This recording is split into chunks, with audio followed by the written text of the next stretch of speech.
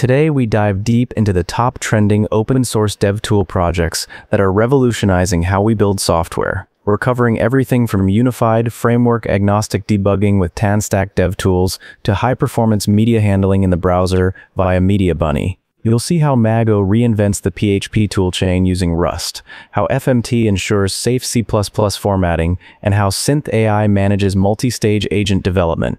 Get ready to streamline your workflow and catch bugs faster. Welcome back to Manu AGI Tutorials. Here, we explore the exciting world of AI, latest AI tools for you, so don't forget to hit that subscribe button and the notification bell so you don't miss out on the latest AI insights. So let's start today's video.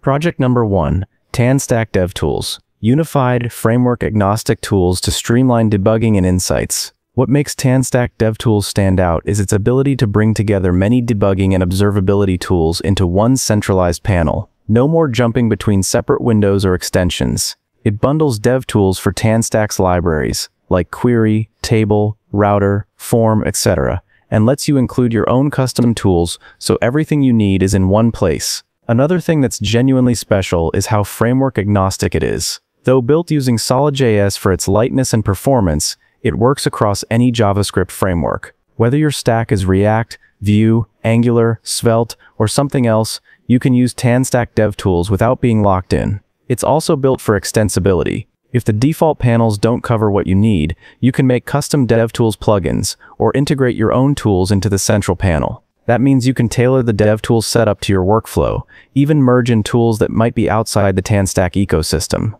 Performance and simplicity are core goals here.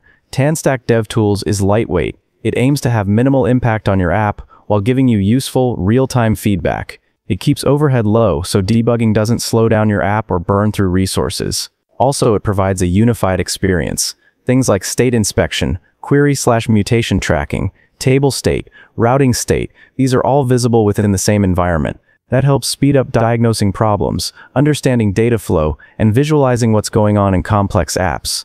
In short, what makes TanStack DevTools truly unique is giving developers a unified dashboard that works with any framework, supports custom tooling, is lightweight and performant, and simplifies what used to be a messy, fractured debugging experience. It makes seeing what your application is doing much easier, clearer, and faster. Project number two, Mediabunny, a web-native, zero-dependency media toolkit for browsers and Node.js. Mediabunny is reshaping how media is handled on the web by bringing extremely high-performance media operations directly into the browser and Node.js without any bulky dependencies. Written in pure TypeScript, it supports reading, writing, converting, resizing, rotating, cropping, trimming, and more for audio, video, and subtitles, all from within your web app. One of the most striking things about it is its wide format support. Mediabunny works with MP4, MOV, WebM, MKV, WAV, MP3, Ogg, FLAC, ADTS, and more. It supports 25 plus codecs and even subtitle streams. This means no matter which kind of media files your project needs to process, there's a good chance Mediabunny already supports it. And it doesn't just convert files, it can read metadata, duration, dimensions, codec info, extract audio video data, and handle things like streamable files.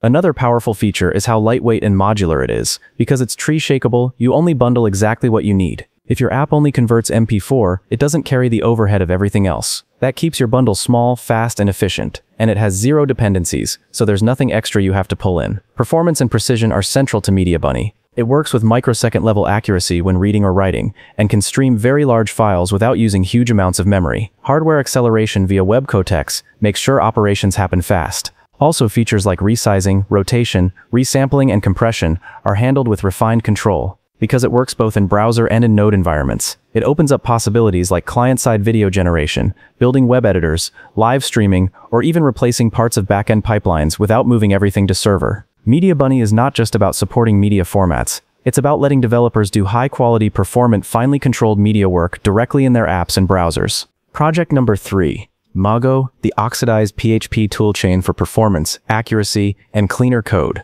Mago is a fresh take on PHP developer tools that's unique because it reinvents what linters, formatters, and static analyzers can be, packing them all into one fast, consistent, opinionated system built for modern coding standards. What makes Mago special starts with how it's built. The entire toolchain is written in Rust, which gives it blazing speed and powerful parallelism. It processes code fast and large projects finish checks much quicker than with older tools. Uniqueness also comes from Mago being an all-in-one solution. Instead of juggling separate tools for linting, formatting, auto-fixing, and analysis, Mago brings them together seamlessly. There's no mismatch between style fixes and strict code checks. Everything aims for correctness and coherence. If you're tired of style debates or inconsistent code formatting, Mago just enforces modern PHP standards and makes the feedback consistent. Another standout point is how forward-looking Mago is in terms of feature agility, because the toolchain is tightly integrated, when new PHP features or syntax proposals emerge, Mago can adopt them across all parts, formatter, analyzer, linter, very quickly.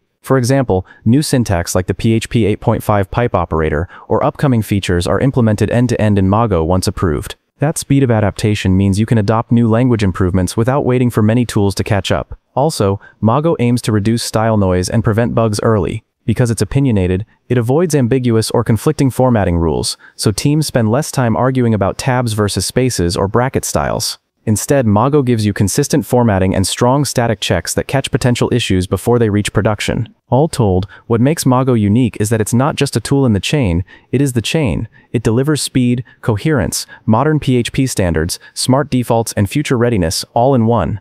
If you care about code quality and working fast, Mago offers something rare, a unified polished experience without sacrificing performance or correctness. Project number 4. React Input Mask, helping users fill inputs perfectly every time. React Input Mask shines because it makes input fields behave exactly as users expect, reducing mistakes and frustration. What makes this tool special is the attention to user experience. It ensures that when someone enters a date, phone number, credit card, or any formatted text, the shape of the input leads them gently and clearly, rather than letting them mess it up. One of the biggest strengths is its flexible mask formats. You can define a mask using simple strings like 99999 to guide someone entering a date, or you can build much more complex formats using arrays of patterns and constant characters. This lets the field accept digits only, letters and digits combined, or even custom constraints for parts of input. Another standout feature is how it manages placeholders and unfilled sections. If parts of the mask are empty, you can choose how they appear, maybe with underscores, maybe with nothing at all, so the input stays clean and readable even before the user starts typing. It also lets you always show the mask template, prefix placeholder, even when input field is empty or not focused, or hide it until needed. What really sets it apart is its hook for adjusting behavior just before each mask change.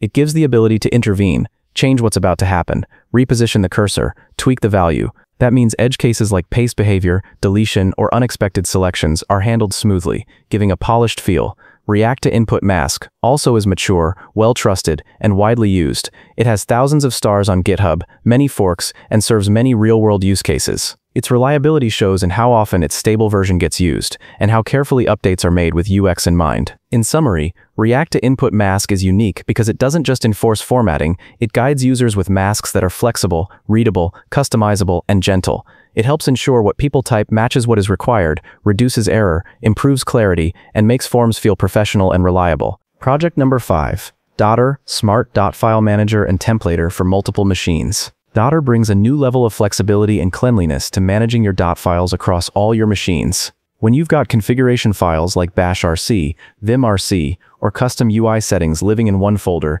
usually a Git repo, ordinary symlinks barely scratch the surface. Dotter solves what happens when some files need to behave differently, depending on machine, laptop versus desktop, Windows versus Mac, battery meter and UI versus no battery meter, etc.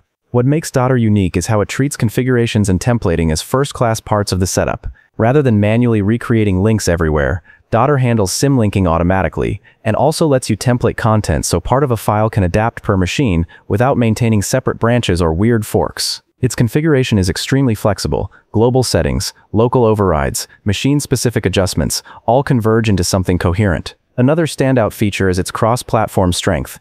It works smoothly on Linux, macOS, Windows, if you move between environments, Dotter ensures your files deploy to the right places without you manually tracking platform differences. Also, setup and updates are much easier. Once your folder of dot files is configured, you can run Dotter, and it will push only what's needed, keeping everything in sync. Even per-file differences like this setting shows only on laptops but not desktops are handled without needing separate repos or manual juggling. Finally, Dotter is built in Rust, helping with speed, safety, and reliability. Packages are available via Homebrew, AUR, for Arch, Scoop on Windows, making installation easy across platforms. Altogether, Dotter isn't just another dot file manager. It's a smarter, adaptive solution for anyone who works across multiple machines, wants clean and maintainable configs, and hates duplicating effort. Project number 6, SynthAI.